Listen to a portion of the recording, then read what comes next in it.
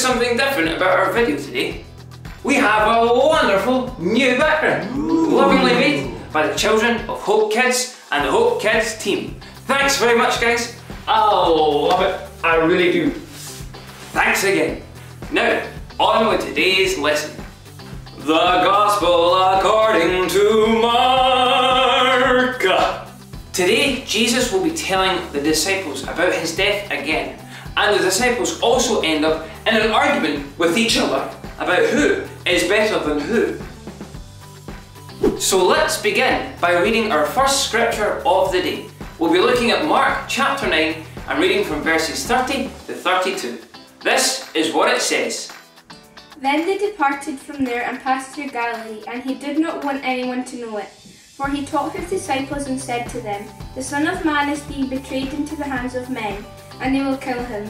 And after he is killed, he will rise the third day. But they did not understand this saying and were afraid to ask him.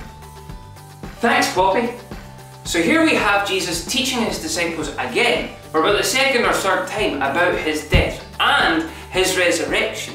But the disciples still didn't understand, as it says in verse 32, that they didn't understand this saying and that they were afraid to even ask him.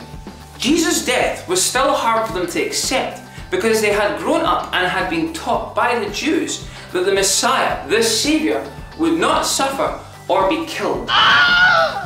But, as we have learned before, boys and girls, Jesus had to suffer and die on that cross to take away all of our sins because, being the Son of God, he was the only one who could. And because he was the Son of God, he defeated sin and death by rising from the dead. Just like Jesus says, after three days, he will rise. But the disciples couldn't accept or understand this just yet. Moving on, let's look at what happens next with the disciples as we read Mark chapter 9, verses 33 to 37. Follow along as best you can, boys and girls, and here is what it says. And they came to Capernaum, and when he was in the house, he asked them, What were you discussing on the way? But they kept silent, for on the way they had argued with one another about who was the greatest.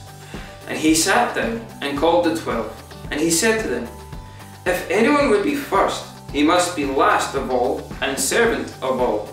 And he took a child and put him in the midst of them. And taking him in his arms, he said to them, Whoever receives one such child in my name receives me. And whoever receives me receives not me, but him who sent me. Humbleness, humbleness, humbleness, humbleness. This is what Jesus is teaching his disciples and us to be humble. So what does humble mean? Simply put, to be humble is to think of others before yourself and not to think that you, me included, are more important than other people. The opposite of being humble is being proud.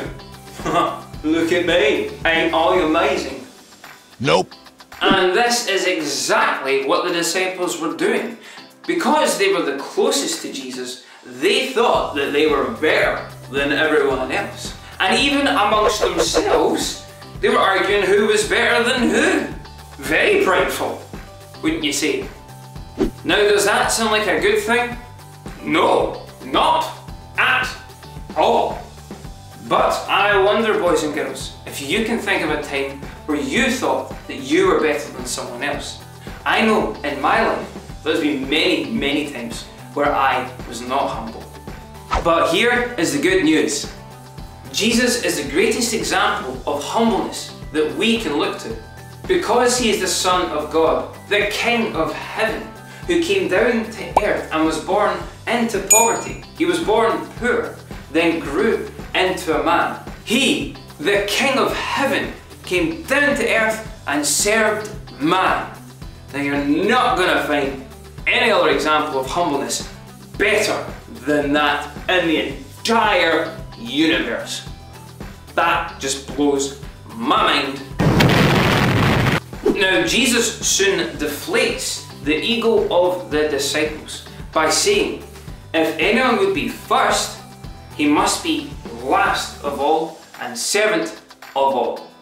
This means that it's better and good to humbly serve and care for others than to try and be the centre of attention and think that you're better than others.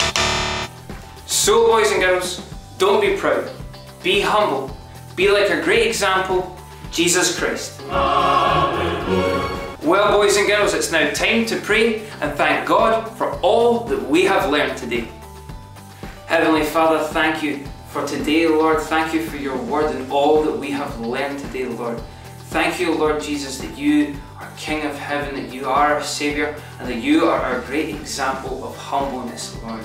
We pray, Lord, that you help us not to be proud and not to think of ourselves, Lord, but always think of others and care for others and be humble, Heavenly Father.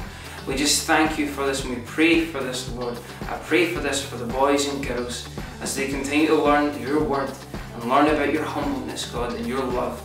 Lord, that they can copy that and, and show that to others as well, Lord.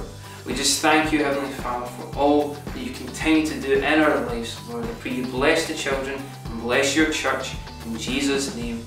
Amen.